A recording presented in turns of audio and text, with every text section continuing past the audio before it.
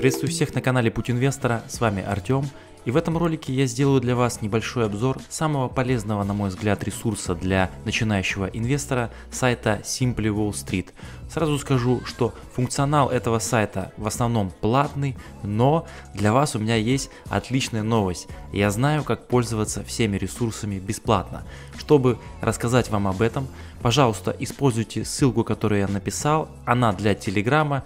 Пишите мне в чате, я вам вышлю полную инструкцию, чтобы вы также смогли пользоваться всеми ресурсами этого сайта бесплатно.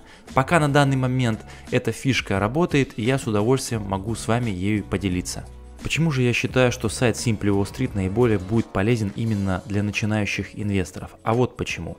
Они делают классный анализ в целом компании через так называемую снежинку. Обратите внимание, Сверху у нее стоимость, value. Дальше идет future, будущее. Здесь past, прошлое компании. Здесь health, здоровье компании. И здесь дивидендная история. И с одного взгляда на эту снежинку мы с вами понимаем, что представляет из себя компания. Вот, к примеру, сейчас мы смотрим с вами на Теслу и видим, что по прогнозам аналитиков у компании крутое будущее. Вот здесь написано, что она будет перформить следующие 1-3 года.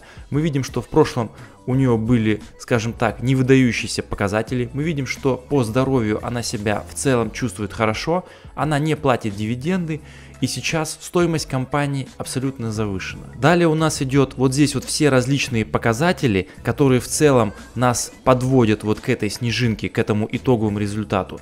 Кстати, хотел бы вам сказать, что английский язык это мой вам рекомендацион для инвестиций, но вы всегда можете, примеру, в Google Chrome перевести все на русский язык. И здесь мы с вами можем посмотреть, что управляющее резюме. Tesla проектирует, разрабатывает, производит, сдает в аренду и продает электромобили, а также системы производства и хранения энергии в США, Китае и за рубежом. Здесь мы с вами можем полностью на русском языке посмотреть, что представляет из себя эта компания. Дальше мы с вами видим несколько плюсов. Ожидается, что прибыль будет расти на 32,3% в год. Компания стала прибыльной в этом году. И анализ риска. Выплата процентов не покрывается доходом, значительные инсайдерские продажи за последние три месяца и акционеры были разводнены в прошлом году. Давайте взглянем на компанию поподробней. Листаем вниз и, к примеру, подходим к оценке справедливой стоимости. Сейчас на данный момент одна акция стоит Tesla 781 доллар, а по мнению аналитиков Simple Wall Street справедливая стоимость 116 долларов. И по их мнению на 572% акция переоценена. Листаем дальше, здесь у нас идет оценка ключевых показателей P на E, P на B и приходим к оценке, точнее к прогнозу будущего роста. И мы с вами видим, что по прогнозам выручка будет расти серьезными темпами, при этом чистая прибыль не будет такими темпами расти. Листаем дальше, и здесь вы часто видите это в моих обзорах, вот этот вот скриншот, соотношение роста компании и индустрии. Обратите внимание, Tesla в 2021 году будет расти ниже индустрии. Далее мы приходим к прогнозному графику роста прибыли на акцию или earning per share, по прогнозам она будет расти. Мы видим прошлые показатели Теслы, анализ прошлых доходов по соотношению с индустрией. Далее приходим к финансовому положению компании, смотрим как менялся долг компании к собственному капиталу и соотношение долга к собственному капиталу. Далее у нас идут дивиденды, здесь идет сравнение с рынком Потом мы с вами видим данные о менеджменте. Видим, что компанией управляет исполнительный директор Илон Маск 48 лет. В этой должности он более 12 лет.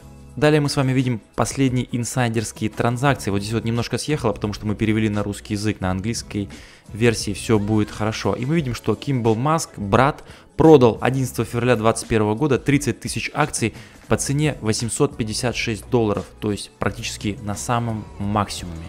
Далее мы видим, кто является акционерами компании. Видим, что 17% принадлежит Илону Маску, 6% группе Vanguard, 5% BlackRock.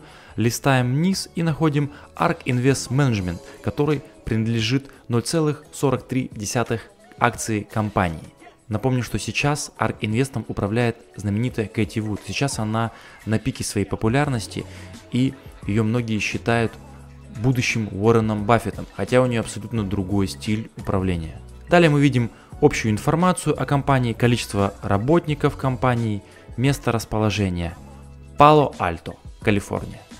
Также у нас с вами доступен функционал сравнения компаний. Нажимаем на кнопку «Сравнить» или «Compare» будет по-английски. И, допустим, э, сюда спишем компанию, с которой мы хотим сравнить. Это MFAS Energy, да. А, вот. Или, к примеру, мы хотим ее сравнить а, там, с Toyota.